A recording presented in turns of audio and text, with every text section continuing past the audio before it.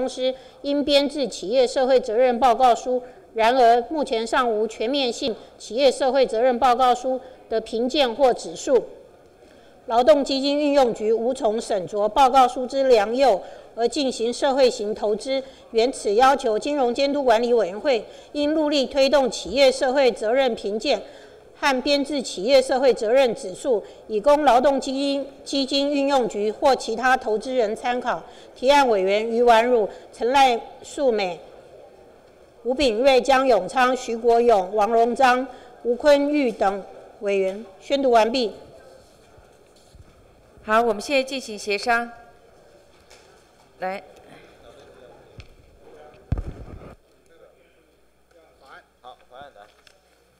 来。请问呃，一百六十七条之二，大家有没有意见？按照那个对郑明忠委员的修正版本有没有意见？好，请大家表示意见，谢谢。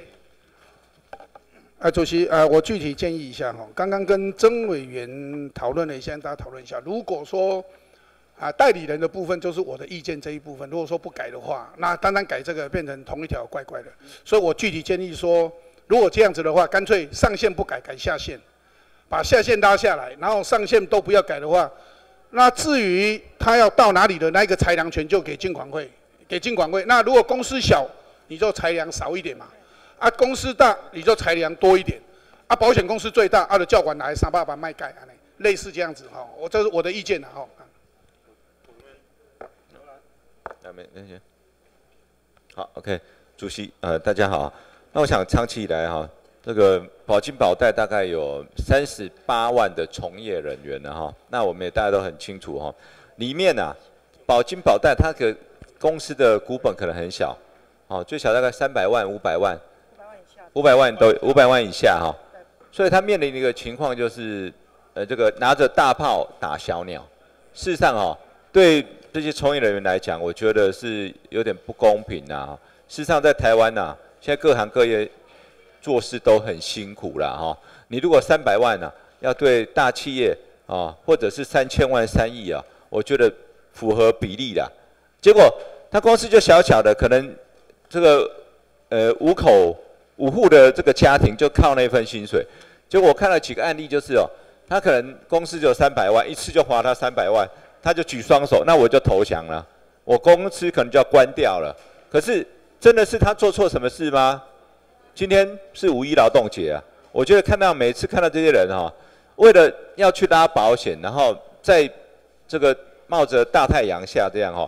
拉保单这样子哦，事实上也是为了这个保险哦，坚持这一个社会的一个重要的一个保险力量的一环呐的一个小环节，所以我觉得应该要调降了哈。所以我觉得这个曾明忠曾主委他以前也是很经验很丰富啊哈，那提出这个五十万呢，我觉得是有他的考量啊哈，所以本席认同。本来我也要提案，就是也是一起一起共同提案的哈，所以我觉得应该要降啊。要降，好，因为这个相关的人数，从业人员三十八万人，影响很多很多，那案例非常多，啊，希望说大家也多多来了解讨论一下，谢谢主席。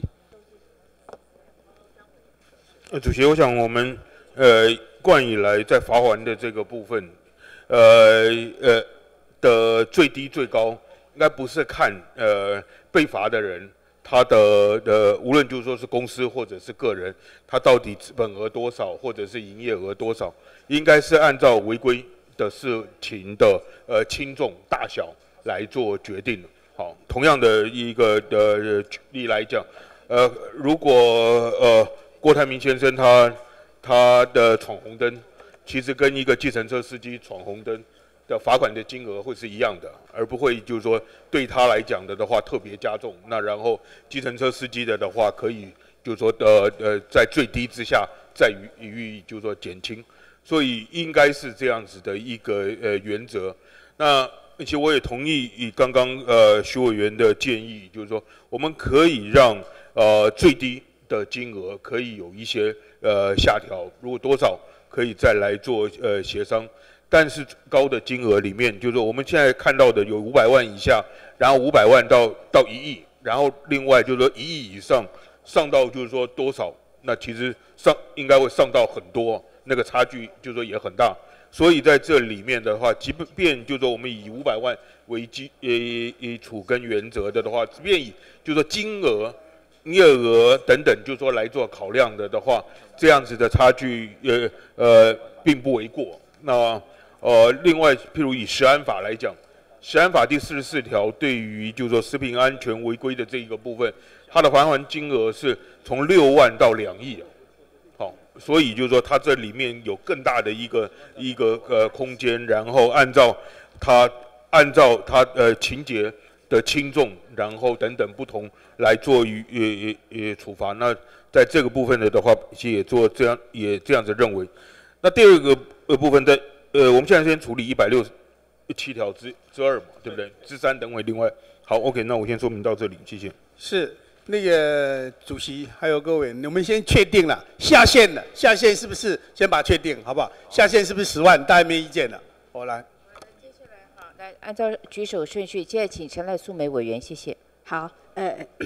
呃，我那我想哈，因为我刚刚在执群的时候也有提到了哈，呃，我觉得不给不应该以公司的规模大小哈，或者是它的资本额来作为我一个处罚的依据。呃，我本人赞同我们徐委员跟我们王荣章委员提的哈，要以违规的那个情节哈的轻重来作为一个依据，呃，要不然的话会产生一个呃违规情节很严重，但是罚源较轻的情况，也担心会。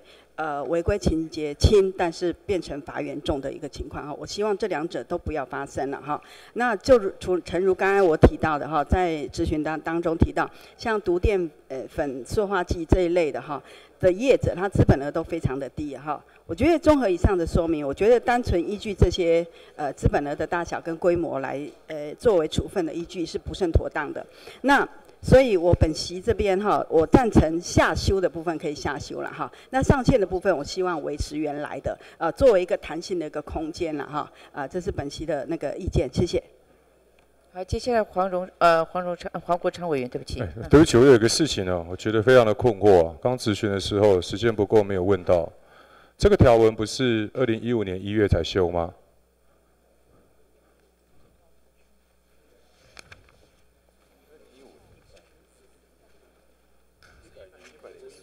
没有没有，我说一百六十七条之二，我们现在在讲的这个条文，去年去年是不是有修过？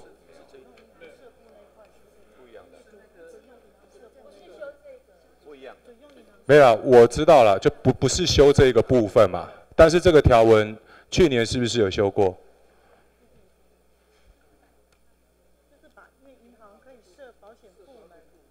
所以这个条文去年有修过吗？没有了。我的问题很简单嘛，这个问题去年一月是不是有修过嘛？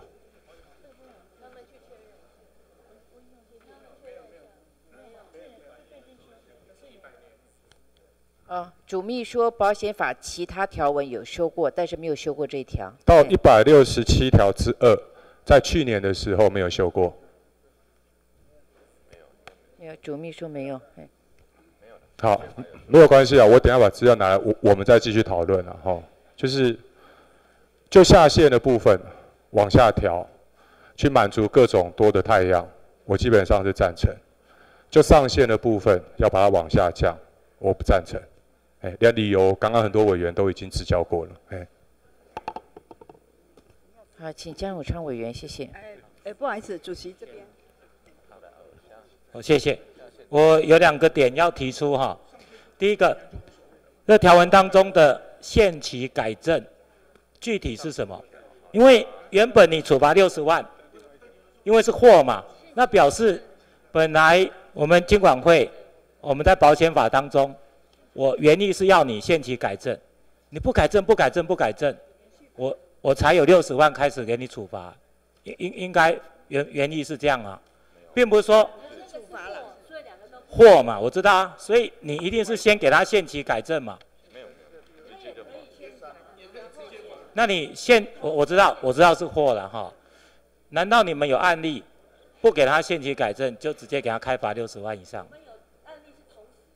同时有嘛，但是但是我现在讲就是说没有给限期改正的这个期间，然后就直接开罚六十万，那表示情情节情节重大。所以第一个我问的是，到底你限期改正的这个你的具体内容、具体措施是什么？这我第一个问题了哈。等下你再说明关系。第二个，我觉得这个罚款哈，你你上线下线总是有一个标准的一个依据啊。你是参酌什么？如果期货交易法里面哈有关于九七条之一内部控制制度的建立，它也是讲啊，期货交易所啊，期货结算机构、期货业啊，要建立财务业务之内部控制。如果没有这样做的话，它的处罚是十二万元以上六十万元以下。那你你今天当时的六十万到三百万，为什么会这样定？一定有依据嘛？不不可能停说。呃，这个平白，然后就就去定这样金额。当时为什么六十到三百？啊，你现在调，你要修成十万到五十万，那后面这个后面是，哎，也是一样嘛，哈，也是十万到五十万。那你十万到五十万，你的基准点，你或是你的餐桌的情况又是什么？而不是总不是说这里画画的嘛？是不是可以告诉我你的你的具体依据，好，或是餐桌，或是什么规定？以上，谢谢。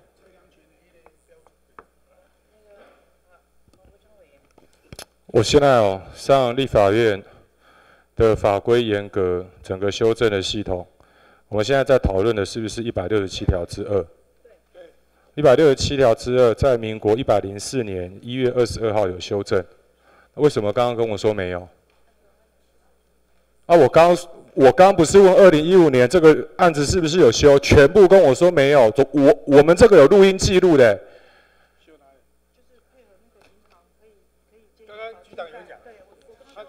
没有没有没有，我们等一下到时候事后录音再调出来讲了。当立法委员在问这些事情的时候，你们连基础的事实，你们连基础的事实都敢随便乱讲，没有关系啊。现在确认了，这个法律去年有修过，对不对？好，去年修的时候，经管会如果对于这个法规的适用有这样子的看法，去年为什么不提我来？讲啊，就我是提案人哦，因为有时候修的时候是当时是配合银行呃那个那那个设银行部嘛，那因为当时呃没有人反映这件事情，那为什么我这个提案是今年二月间呢？我跟罗委员内喜的保代保金的会员大会，那会员大会他说现在的六十万到三百万太高了，所以这样才提出来的啦，也这个也不是也不是这个八人级主动提案。我补充一下我我来补充一下哈，他这个情况是这样子哈，就是寿险公司哦，比如说大间的，它的股本啊，可能是一千亿，大间的，比如南山呐哈，一千多亿啊，啊，当然国泰更大，结果这些比较中小企业的保金保贷公司啊，它可能它的股本是多少？三百万、五百万，结果在两个不同的这样的一个情况之下，他们所受用的。的这个处罚的条例啊，就是两个都是那么大，哦，所以事实上是很不对等的啦。一千亿的公司被罚个六十万、三百万，他不痛不痒。可是我现在讲的就是小间的哈，因为这个从业人大概三十八万人，人很多啊。小间的一罚哇，可能就是他三百万，你罚他三百万，他就全部投降了，公司可能就倒掉了，啊，或者是说。三百万的公司，他一次罚可能就是六十万，六十万一次可能罚两次，好，再连续再罚，他可能哦，好，摩西嘛爆掉命了，所以明显的哦，对他们公司的经营啊很伤，而且哦做了感觉啊很辛苦的经营啊，大概是这样子啊，所以有那么多人在谈，我们所以我们才提的这个看法。好，希望大家来了解。好，这样子哈，来，第一个我先就那个程序说明一下。那个，因为黄黄国昌委员刚才提的是有道理的。他说他特别只是在程序在问刚呃一百六十七条之二去年有没有修过？事实上是有修过了，这是第一个。那所以呃主秘当时他是一下没听清楚，他以为说是这个议题有没有讨论过。那这个议题没有讨论过。那当时的修正是为了配合银行另外一个议题，银行设。啊，保险部门的事情设，那这个联动进行修正。那所以他可能一下误解，或者说这个议题没有讨论过，我我把它做说明哈。那这是两回事。第一个，这个条文有修正过，但是是这个议题是新的议题。那以上做个说明这样子。那第二个哈，好，对不起，好，黄国昌委继续讲好了，好，谢谢。呃，刚刚那个罗委员讲的那个状况，就实质的道理来讲，我完全了解，我也赞成。这是为什么我我我这么介意？去年在处理这个条文的时候，经管会为什么没有表示任何的意见？我为什么会这样讲？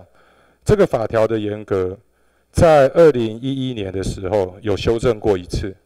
二零一一年修正的时候，我把修正的理由念给大家听了。另外，对于保险代理人、经纪人或公证人违反管理规则及处理，那个时候是九十万以上，四百五十万以下有失衡平。所以把它调成六十万以上，三百万元以下。这是二零一一年的时候，在修正这个条文的时候，已经把罚则做了斟酌了。那经过了这几年的实践以后，现在我在质疑的，并不是质疑这个法律条文修正的正确性。我现在在质疑的是经管会去年在动动这个条文的时候，经过这几年的实践，为什么在去年的时候没有把这个修正意见给提出来？那到这个修法以前，有多少保险经纪人？譬如说，刚刚卢委员所讲的，第一线的工作人员薪水没多少，啊，一下就被罚了这么重。那到底有多少这样子的案子？现在我在处理的哈，是我们整个在法规制定的程序上的时候，有些法律你本来到一个时间点，如果不合理，你该改就改啊。那怎么会在那个时间点不改，然后现在突然说要改？当然，我还是肯定曾委员提这个案子。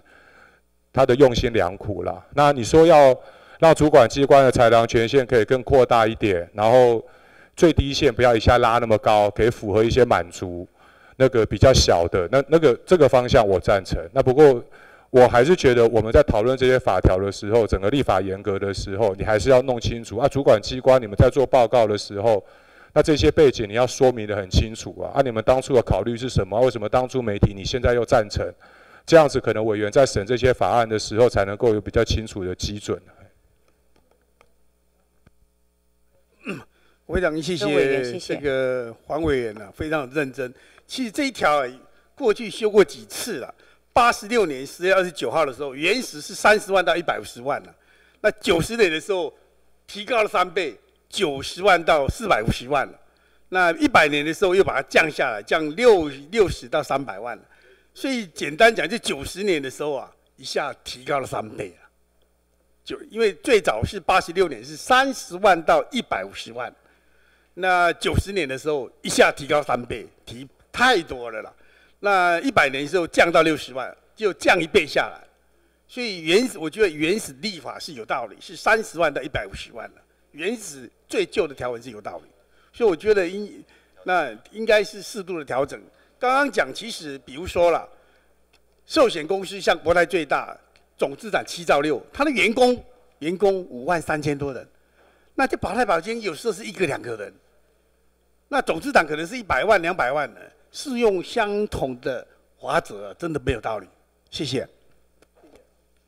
呃，我也说明一下哈，呃。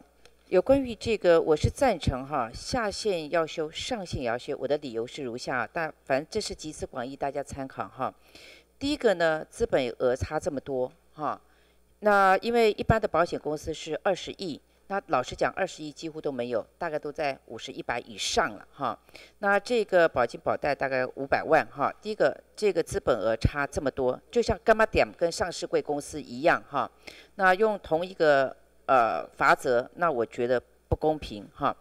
第二个啦，这公司的经营内容也差很多。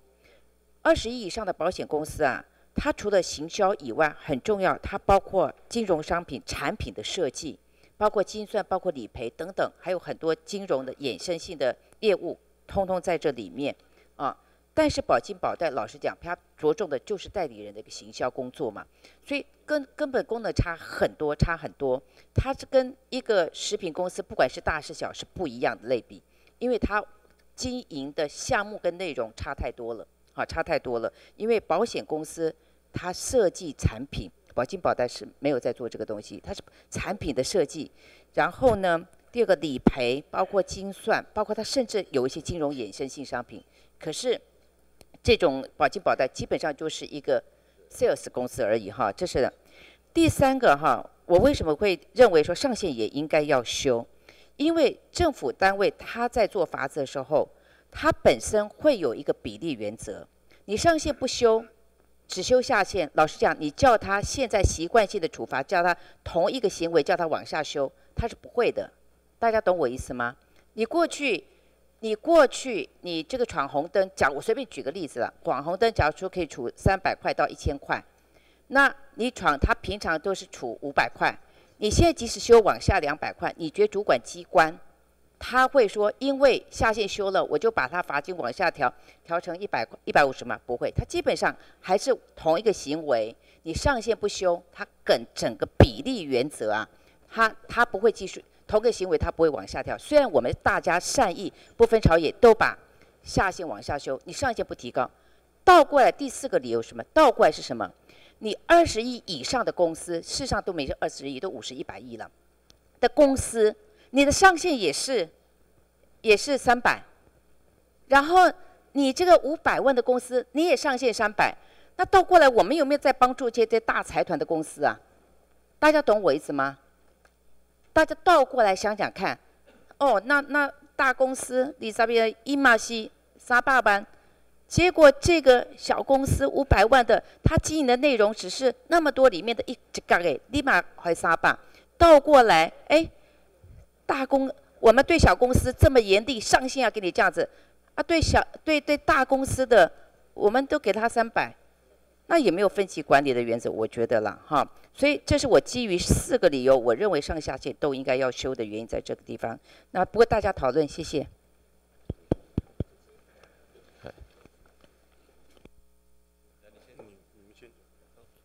那个本席想请教哈，有关于这个它的内控。不管是业务、财务，好，有所疏失，它到底造成的是投保人或受保险人的损失，这个行为上，到时候要处罚的时候是看那个公司的资本小，就罚少一点；按那个公司的资本大，就罚多一点，不是嘛？哈。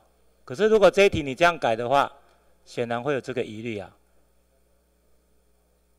对不对？那以后你小资本的没关系，我法看救啊。那你受害的人，你这个行政法，你要考虑受受害的人的他他的一个部分啊。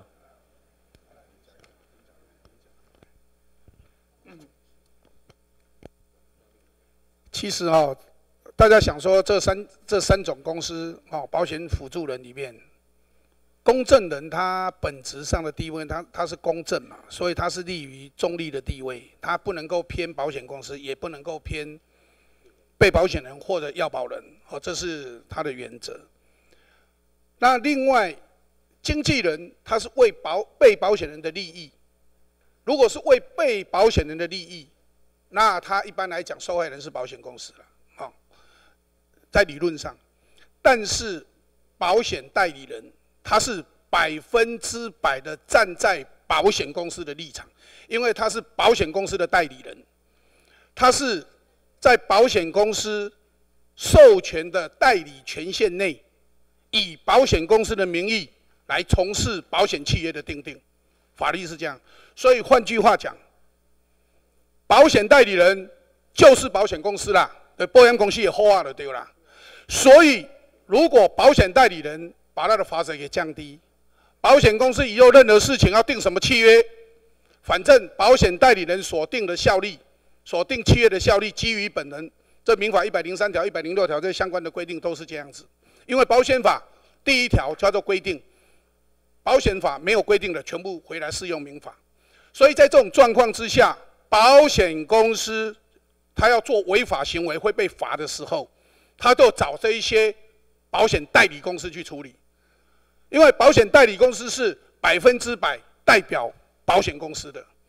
所以在这状况之下，我为什么说保险代理人不管他规模的大小，他就是保险公司，只不过是因为他只拿保险公司的酬劳跟保险公司自己请的业务员，他只不过在劳基法的部分，为了要把它切割出去之后的，把它推出去了，所以他们这一部分保险公司不负了不负责劳基法等等这些问题而已，而他所做的任何行为在法律上就是保险公司的行为。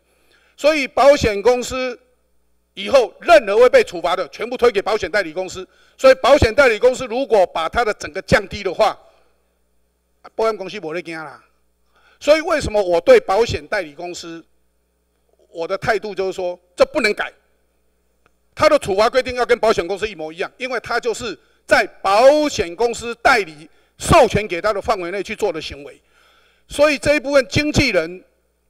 经纪人公司跟公证公司我没有意见，甚至上限稍微降低我也没有意见，但是保险代理人我认为不能降低，所以我为什么最后跟曾委员在那边妥协的时候就讲说，如果要把它分开来定也麻烦，所以我为什么说保险代理人在这部分我们都不要定，就把下限给降了。如果金管会碰到了经纪公司、经纪人公司碰到了公证公司，你可以在十万的下限内。你去做处罚，那跟跟我们要修法，曾委员提出的修法的意志就不会违背。但是如果碰到代理公司，这个显然就是你保险公司的行为嘛，当然要罚最高。为什么？因为后边有一个好啊嘛，一花的钱，保险公司也退出来，你那边给他倒啦，伊不会倒啦。他本来就是保险公司的业务员，只不过把它变成，因为现在公司很容易成立，他就成立一个保险公司，变成一个保险代理公司这样而已嘛。所以在这一部分，为什么我会这样子提？整个在法律上的考虑原因是这样子啦，啊，所以我为什么说上限不要改，下限改的话，那至于刚刚包括罗委员所讲啊，这税金公司会倒无唔对，啊，这个吼监管会讲啊，你都罚十万、罚二十万拢会使嘛。但是呢，碰到保险保险代理公司，那就要特别斟酌他所做的违法行为这一部分是不是保险公司故意在回避。处罚，好像税金公司去处理，我输啊，我来来报你。我用保险的这一些啊，这些报酬的业务费，我想把它报你，甚至用公关一些费用、业务费用，你来这里来报账，就把它处理掉。这个都会这样子啦。这个在实务上做主，我们在当律师看个不会看做主啦。所以在这种问题，我为什么对保险代理公司的这个问题，我觉得是比较大一点。经纪公司、公证公司，我觉得没有问题啦。所以我觉得说，为什么上限不要改，我们就降下限。然后这一个整个裁量权就给监管会去处理，那我相信监管会如果处理的不妥当，我们立法随时可以处理，因为这是一个行政行为，也不是也不是司法行为，我们随时可以监督嘛。哦，我艺术是安尼啊，大概意见啊，上限不要动，动下限，然后这样所有的包括代理、经纪、公正就全部可以做得到。我的意思是这样子的。我我再讲一下哈，那个。因为本席有奋战的精神啊，但是哈，所以我喜欢讲，就大家多包容一下。虽然我当主席，但是我也是委员。那第二个，我声明一下，不管结果怎么样，我会尊重合议制。那我觉得我们可贵的就在于说，哎，我们这个讨论的过程，每个角角度都去思考到哈。我举个例子来讲，统一、益美都是食品公司，它会有很多的代理商、经销商。那老实讲，它的经销商都是比较从事销售行为。那统一、易美类似食品公司，它要制造啊，那它有它的这个行销制度等等之类的。所以，如果今天食安出了问题，要它的经销商负的责任上限是跟统一、易美一样的话，那我觉得并不合理。第二个，老实讲，虽然是这个保金保代公司，虽然是代理保险公司，可是它后面的它本身审核的支援的。或负责的是这个保险公司啊，所以换句话说，如果这个我们不要把这保金保代当做一个邪恶产业，它其实绝大部分我所看到的保金保代公司是站在保险公司跟客户之间的一个平台。那虽然它是从保险公司那边赚钱，它也可能是比较站在他那边。但是你用 h o r 给形容，我觉得也也有点稍微稍微言过其实了啊。但是但是我要特别强调，如果它里面有少数，里面有少数不孝的分子，有没有？有。譬如说哪种情形？乱推销，把他的保单内容讲得无限扩大，有欺骗不实的行为。老实讲，如果你今天你有少部分的保金保保代从业人员这样的不实行为。但是你代理是某大产品公司、保险公司，你自己产品公司这么大的资本额，这么的大公司，你对于你代理的人员他的行销方法，没有有一套有效的机控制度的话，没有一套有效的机制的话，那我觉得也说不过去。那另外，像保金保贷，还第二个常常会产生的一种少数人的弊端是什么？收了钱没有缴回公司去，然后呢，到时发生说他保险公司没收到钱，然后理赔产生问题。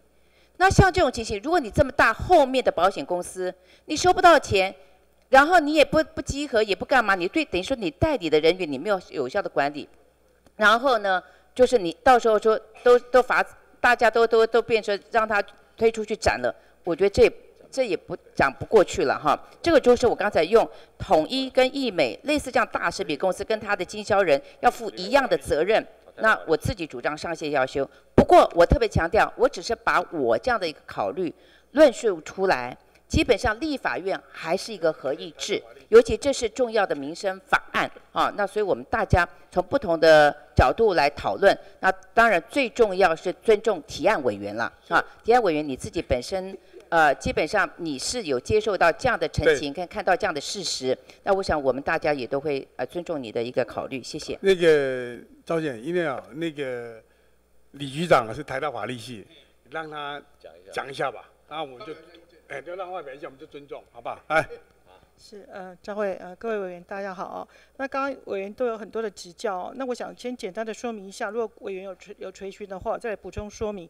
刚刚讲这个保险代理人，他确实是只是在招揽的这个部分，那所以他要付的是他有没有有没有依照我们的规定去做一些招揽的行为。那我们管理上，保险公司跟这个保代保金，我们都是从行政上去做一个监理。那基于民事上，刚刚讲说，如果会不会对保护产生一个呃损害，其实不会，因为我们这边也在我们的管理规则有要求，如果说这个这个保代如果他有一些过失或者一些错误什么像这样导致这些保护受损害的话，他还是依法负这个损害赔偿责任的，而他是要负授权的责任的。所以在保护的权益上，其实是他还是要负这个责任，不会说保代因为这样他就。把那个责任，就是把那所有的责任，呃，归给保代，然后保险公司不用负责，是不是没有这个问题的？所以我们认为说，其实保保代这个部分，其实应该没有刚刚委员讲的是说，他会把所有的责任转嫁到他那边去，因为他该负的责任，他还是要负。我们要求他要尽的责任，他还是要尽。所以这部分，这部分是民法，我对是行政法的对钱的问题，钱钱的问题，把两个搞错，我意思说，处罚的规定。如果是民法，民法没有问题，那保险公司要负责。嗯，哦，民法的问题，保险公司要负责没有问题。我现在讲的是行政处罚的问题，保险公司会把行政处罚，譬如说本来应该罚三百万，他现在说那个都是代理公司的行为啊，因为代理公司是十万到五十万，顶多罚五十万。我在指的是这个行政法，你现在把我扯到那个民法的有效无效去，你你不能把民法跟行政法把它和在一起啊。哎，这个和在一起，我现在在讲的，我们现在修的是在修行政法，不是在讲保险契约的有效无效，跟保险契约要不要负责任的问题。所以你你你扯到这里去说，会不会影响到他？不是这个。那好，我那我对不起。这样你了解我的意思吗？我在讲的是行政法的问题，他会推给这一些，他就少少被处罚。因为我们我的意思是这样子。都在跟我们补充，那个保险代理人管理规则，对他应该负的这个责任，其实都有一些规范。那保险业有关他招揽、核保、理赔相关的这个责任，也都有规范。所以。这个委员担心说他会把责任归到那边去，在我们目前看起来，他虽然这样讲，不见得我们就会接受他的说辞，我们还会去判断这是代理人应该负的这个责任，还是保险人应该负的责任。所以这块我们是刚刚委员是说提高那个那个法则，我们是觉得我们是因为你们会判断，所以呢你们就会全部判断到这是代理公司的责任，所以责任就轻了嘛。如果让他上限一样的话，那很可能他们我们可以判断它里面一定有一些关联性嘛。可是那个关联性不够强，你只能够处罚他少。不会。可是还是有关联性，所以我意思就是说，我了解。代理公司的行政处罚的方面，事实上他就是保险公司的代理人，保他的行为就是保险公司的行为。在这个概念之下，他的行政罚不应该低于保险公司啊。其实，在跟我们报告，有些时候我们在某些案子里面，其实保险业跟保险代理，我们有时会同时处罚。就如果他们分别违反他们的规定，我们也会同时处罚，不会说让他有这个转嫁的这个状况。那刚刚讲委员说，那上限呃维持，那那这样让他们可以维持，这样就是有一个多的弹性，这一点我们也我们也也没有意见。谢谢。这样了，真的非常谢谢各位都很支持这个提案了，因为那这样委员能不能现在三百万哦？降一点啦，因为你原来哦，原来八十六年的时候只有一三十到一百五啊，那我们容易降两百，降降一百了，降一百，哎了，降一百了，两百了，也不要降太多吧。呃，不好意思哈，这个好像不是画帕拉 K 了哈。那我我我们这边希望就是维持最高的，所谓的最高的就是给金管会一个很大的一个裁量权，它不需要罚到最高，除非情节很严重嘛。所以我我会觉得说最高设这样子，而且您您知道吗？现在保险业蓬勃发展，而我自己本身呃在民间。常常也听到那个哈投保的时候讲的天花乱坠，理赔的时候真的是困难度加高，非常非常高。所以我觉得哈，针对保险业者的一个规范的部分有没有可以？从他的一个经营的模式，然后给我们社会企业的责任给他看待，那么也可以让我们政府有一个很大的一个一个一个那个宝刀宝在上方宝剑在呃金管会这边，要不然的话，我会觉得说对于这个呃保险业者，你说用这样小小法则，其实我是觉得说跟他们。给我们社会上啊民众的一个对他们保险业者的看法，真的是差异太大了。所以我会觉得说，呃，三百万，尤其现在的那种保险的那个金额都非常的高了哈，很投投保率也非常的高。我觉得说要给业要给民间业者这些消费者有一个保障，我是觉得说最高的部分还是倾向维持原来，因为你想一想，通货膨胀一直一直一直涨，一直涨一直涨，那你现在这个三百万其实也倒也还好嘞，哈。好，以上是我的意见，谢谢。好，主席，谢谢。其实哦，两个是完全不一样的概念呐。大家试想啊，国泰金控的蔡宏图啊，你罚他三百万，他也不痛不痒了。可是换言之，你如果罚这个小小公司五百万的三百万，罚一个三百万，他准备就要收摊了。在法律的主体上完全不一样的。这些保金保代公司啊，有一些是经过，这个日日晒雨淋啊，就是第一线这些 sales 啊，不断的去跑跑跑，累积了多少年、十年、二十年的客户以后，他出来开了一家保金保代公司，小小一间，结果你一次如果罚他三百万的话，不是说寿险公司他什么？刚刚有人讲说，嚯啊，他会补充给他。哦，收回了。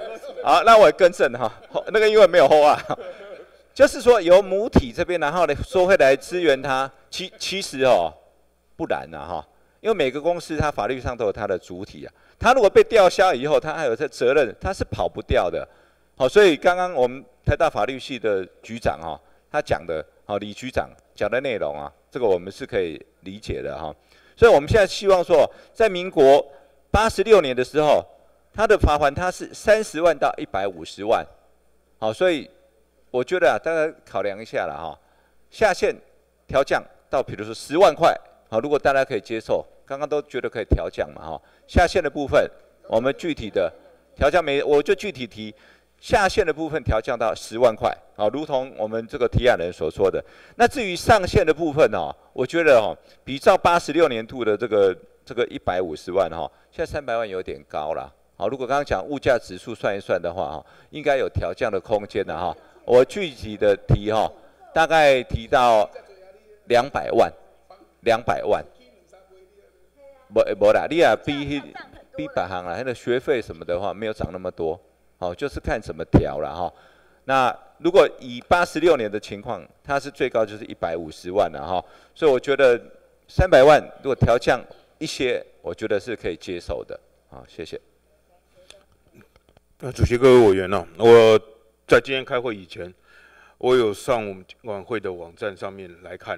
好，我们呃在上面有公布的资料，主要是一百零一年。好，一百零一年的就是说处罚，基本上面都是六十万好，都是最低的的的的金额。好，但没有几件是高过六十万，那但没有三百万的案子。所以就是说在这里面，我们基本上面都是按照最低。好，从实就是说实际的情况结果来看。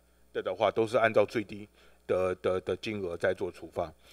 那我还是要再次强调的这个部分，这个不是看这个公司规模的大小，它如果大了的话，我们每一件都罚他三百万，它如果小的的话，即便就是说我我在这边要特别强调，即便就是说将来的呃情况，我们真的调到就是说最低是十万的的话，也不应该就是的小的公司全部都都都是十万，要看他违规事情情节的，就是说轻重合乎这样子的比例啊。好，我们在所有的法文里面是如此啊。那像八仙城报的主办单位的这一个部分。那呃，无论他就是说是脱产，或者是说他他本来就就没有钱，相对来讲，他应他他不是一个有钱的人，但是他的呃罚款还是一样啊。好，他的这这个部分的话，要赔偿的责任还是就是说呃还是在那里。好，那同样的就是说，他即便是一家小的公司，如果他造成的影响跟危害是大的的话，他也应该要负担起他的应该负的责任。就是说，呃，他公司因此而倒闭，或者是说有有问题，如果他的危害到这样子的，就是说地步，那本来也就是他应该要有的责任。好，我们在石安的问题上面看到的。就说不都是大公司才有这样子的问题啊？他在食品上面违规添加等等，也很多的的呃呃的呃是小的，就说药厂跟工厂。所以我想在这个部分的的话，我想我们应该要信信任我们的主管单位，他们会按照他们的呃就说专业，特别是说按照比例原则来做，就是说采访。只是今天我们是不是给他们比较大的一些空间？是不是过去的就是说呃？呃，六十到三百，呃呃，这样子的一公里，还是说我们可以就是说有十到就是说三百，好，那我在想就是说可以看看就是说过去三百导致一家导致公司有倒闭的，就是说情况，我们现在不要用想的，我们从过去的就是说经验里面来看，所有的就是说案例里面的的话有没有这样子的情况？如果没有的的话，过去没有，好，那我想就是说。在，就是说，也也不至于，就是说维持三百，这个差距拉大了之后的的话，我们行政部门就会乱步，哦，就会就是说，呃，恣意妄为。我想这个部分的的话，也不至于如此。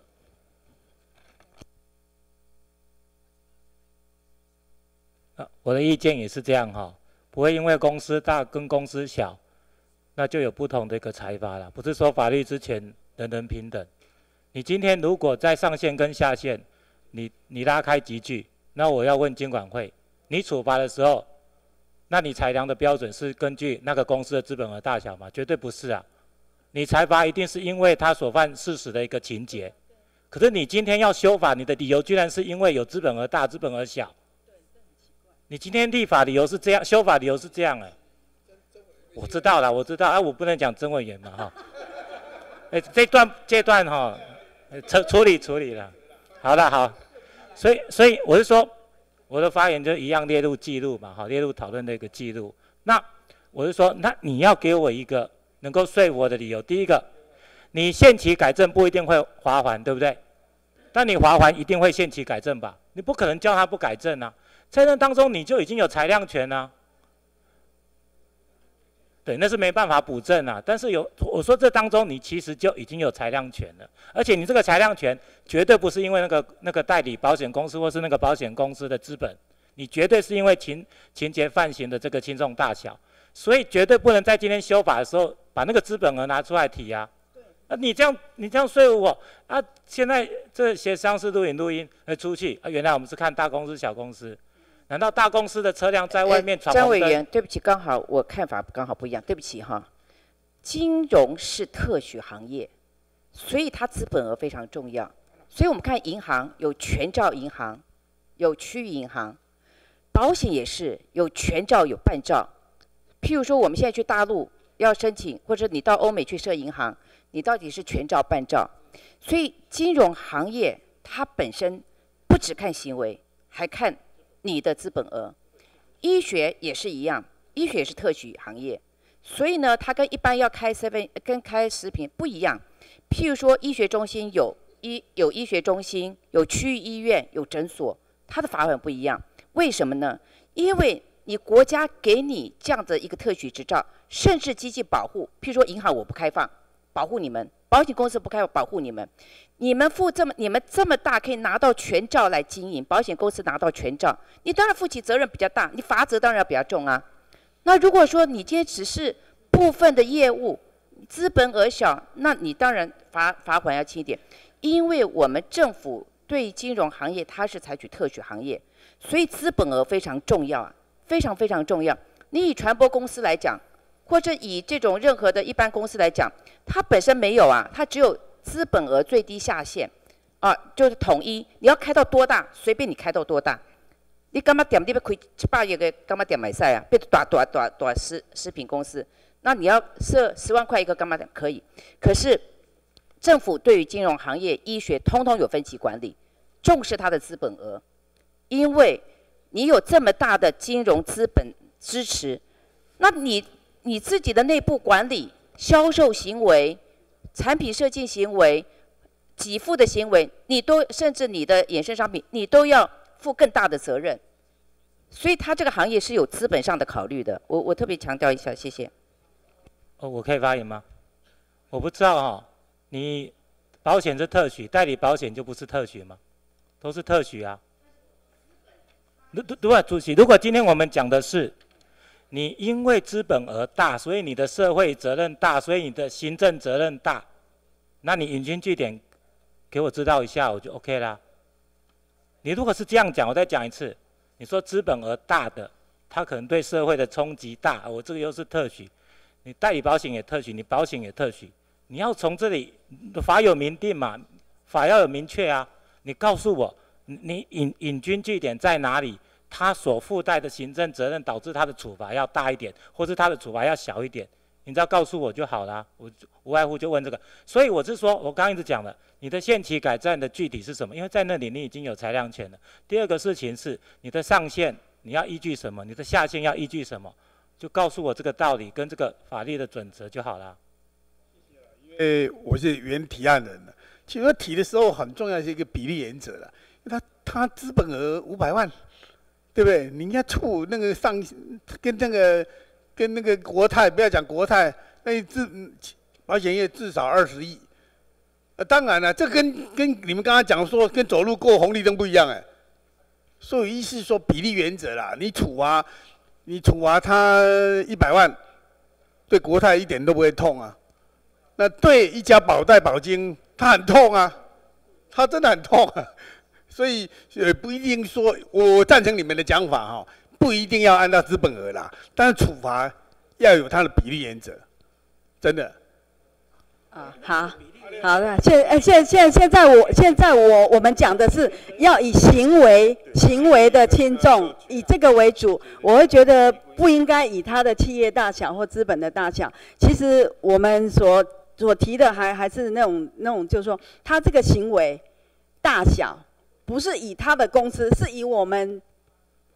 那个购买党摆单这些消费者，呃，两者之间去做一个权衡，我觉得说应该以行为的大小来做一个一一个依据了哈。诶，我们回来回来看现行条文哈，现行条文后面有一句话了哈，情节重大者废止其许可，并注销职业证照，所以显然处罚是按照情节去。显然，处罚他的衡量标准是在情节了哈，倒不是以公司的大小了哈。但是公司大小要不要考虑，的确也要了哈。啊，但是呢，最主要的考虑的还是情节了哦，就是行为的比例了哦，就是永永昌跟那个我们陈代委员提的。所以在这种状况之下哈，如果是用情节重大可以这个注销职业执照，那六十万到三百万啊，那个当然如果说。刚刚提到说，如果要考虑到他的公司大小，所以才要定下限嘛，哦，是这样子嘛，哦，这其实是这样，所以我我还是想说，假如是这样子，事实上这当时的立法理由啊，跟修改的理由都是以情节以行为。如果倒过来，如果只不考资本额，只考虑行为的话，为什么他可以下限要修啊？啊，所以啊，啊，所以，所以因为曾委员提出来嘛，哈，因为曾委员提出来了嘛，哈，诶啊，所以哦。人家讲，干脆说这样子啦，就下线算的啦。什么东西降一点？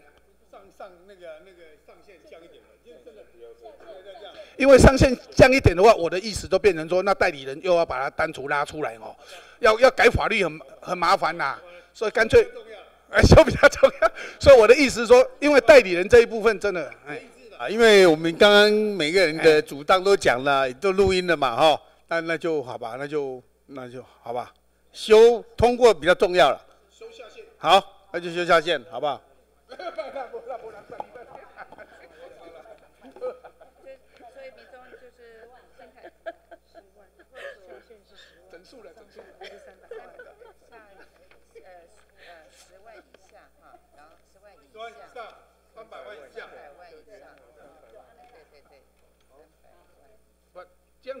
单纯，不然还要抽来抽去，跟人我挨个提修正，那就麻烦了，哎哪麻烦？各位委员对于这样的共识有没有意见？好，谢谢。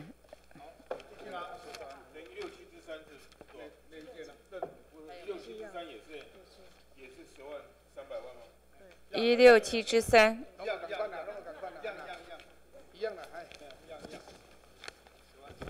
对对，嗯，好，对，好，这样知道你们记清楚了哈，记清楚了。好，那我们大家哈留一点委员在，我们要宣读协商结，要宣读协商结论，还有处理两个提案。啊啊，对不起啊，还有提案，对不起，来的提案来，呃，提案哈，呃，第一个是大家没拿到提案，各位委员们拿到提案。有关于哈，就是呃，因为今天很多委员都在，包括本席在内哈，我们都有提到，就是说，呃，地震保险以全岛为唯一理赔标准，可能并不合时宜，因为现在保保单本来就多样化，有些民众说，我想保半岛嘞。我想保四分之一倒嘞，我想保什么样的情况，给他触卡嘞，对不对哈？就像医疗保险，它应该有多样化，所以监管会应该要严议建立保险呃地震保险的多样化，满足消费者的不同需求，好不好？那这个你们可以接受吗？这个我对我们其实已经发函去做了，OK，可以把报告再跟大家提。OK，好，谢谢，好，专业通过哈。没有啊，就说更范围更大、更大、更大、更大、更大。这个我们没有问题，因为我们其实已经发函去做了，哈。对，对，到时候会跟大家做报告。对。对对对。对。好，那我们就把它做成一个记录哈。那我们就要通过这个提案。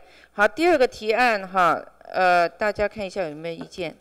第二个提案。我们想有点文字的修正，因为其实现在政企局啊，还有证交所那边，针对一些 CSR 的一些 index 跟评鉴，我们其实已经开始做了哈。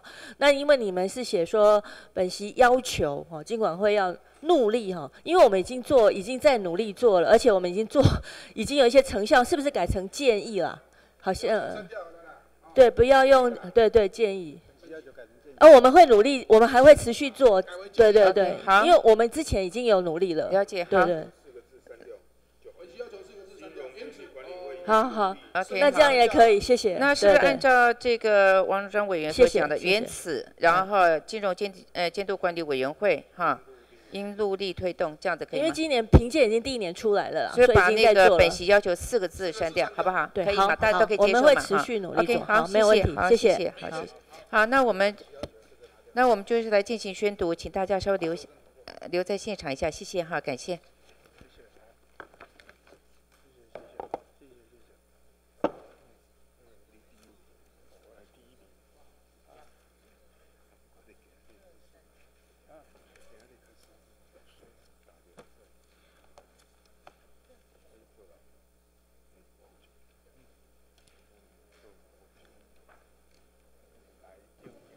好，请宣读协商结论。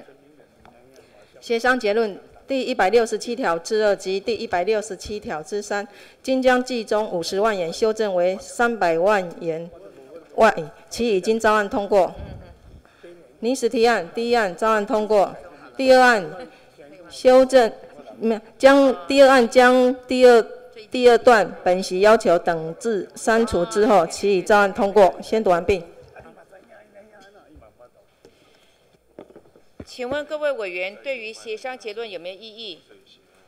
没有异议的话，我们照协商结论修正通过。